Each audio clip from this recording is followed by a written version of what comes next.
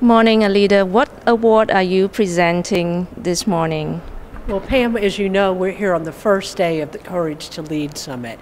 And I'm standing here with my dear friend Mu Sochua, who is the first recipient of the Eleanor Roosevelt Achievement Award for leadership in human rights.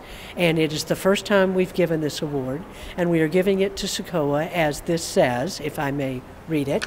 It says, in recognition of her vision of a world where people are respected, in honor of the courage she displays in holding the powerful accountable, and fighting alongside those whose lives are at risk, the Eleanor Roosevelt Project presents Mu Sochua with the Eleanor Roosevelt Achievement Award for Leadership in Human Rights.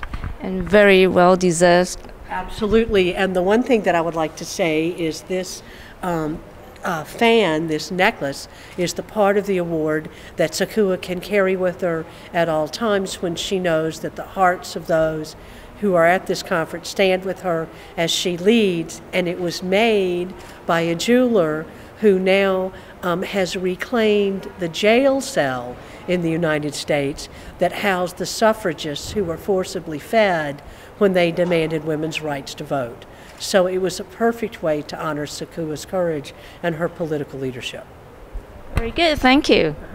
And I, I might add that this is a symbol for me of courage of all the women in the world when I walk to prison because I am faced a, a with a charge um, for defaming the prime minister, and I will be judged by a court that is corrupt, that is not independent. But I have chosen to go to jail.